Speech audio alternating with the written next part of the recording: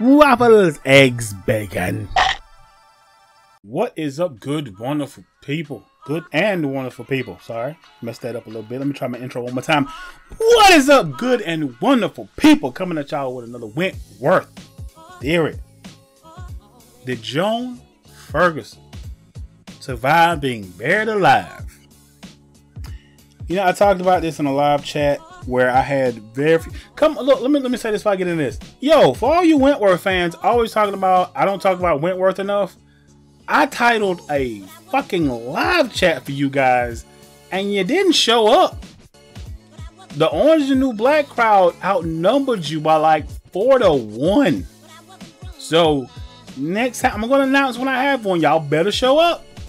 If you if you think Wentworth is a better show, show up and represent. That's all I'm saying. But anyway, getting back to this. I talked about this in the live chat. Whether or not I think Joan Ferguson survived or not. And the thing is, I always have an issue with the way movies and TV get rid of a big baddie. If you have this big, giant villain, this villain needs to go out in a big way. You get what I'm saying? They need to go out either suffering or beaten and bloody, and it needs to be like an all out brawl. I hate when they kill a villain in a stupid way or an easy way. For example, I just talked about the way they killed Piscatella in Orange is New Black. How you have this big bad villain and he gets shot and it's over with. I feel cheated there. I, I feel like he didn't suffer, nothing happened, he died, boom, we move on. That sucks. That's lazy writing, in my opinion.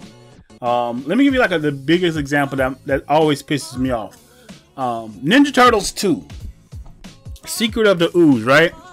So you remember they fought Shredder in the first one at the end, right? And he whooped their ass for like a good 20 minutes. And then Shredder shows, uh, not Shredder, I'm sorry, Splinter shows up and you know throws him over, and he gets crushed by the. Um, it takes him to get crushed by the dump truck, to and we think he's dead. Now he should have been seriously, but whatever. We needed a sequel, so we get Shredder in the sequel, and they're fighting him on the dock, and then he gets the ooze, and he grows like twelve feet tall, and he becomes uh, Super Shredder. And I mean, if you're a kid back then and you're watching this for the first time, you're excited because this shit's about to get crazy. I mean, they had trouble beating regular size Shredder in the first one, right? I mean, they really didn't. Uh, Splinter did it. So now you got Super Shredder. Shit's about to get crazy. And they just let him grow and grow, and then the doc falls on him, and then he dies. The fuck was that? You took one of the biggest supervillains, made him even bigger, and then just kind of killed him with a dock. You killed him with a bunch of wood. That's what you did? Fuck those writers for that. Joan Ferguson is a big, bad villain. So for you to sit and tell me that she's dead because of some wood and some dirt, and I've watched Kill Bill, well, little ass Uma Thurman dug her way out of a six foot hole. Get out of here. That hole was not six feet. Will Jackson did not dig a, a six feet a six foot hole. That hole was probably no more than two and a half, maybe three feet.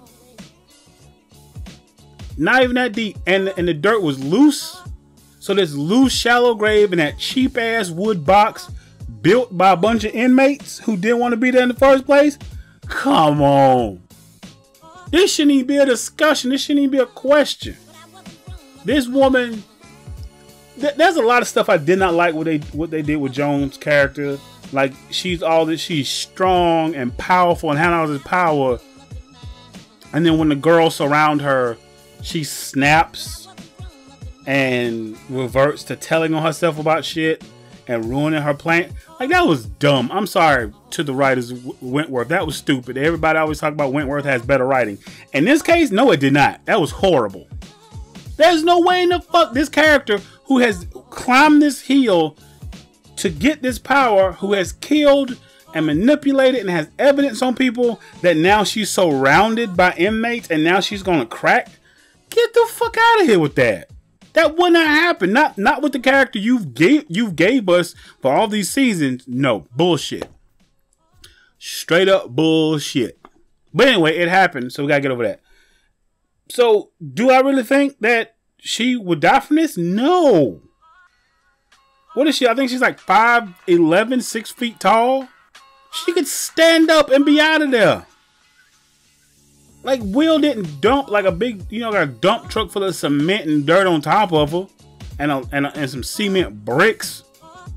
She should be able to easily lift herself up out of that fucking dirt, no problem. And we see her escaped, um, probably out, probably have some contact somewhere. I know she has some contact somewhere, and you know, either her and Franky are gonna come to a head on the outside, or she's gonna get caught come back in the inside and raise pure hell on everybody.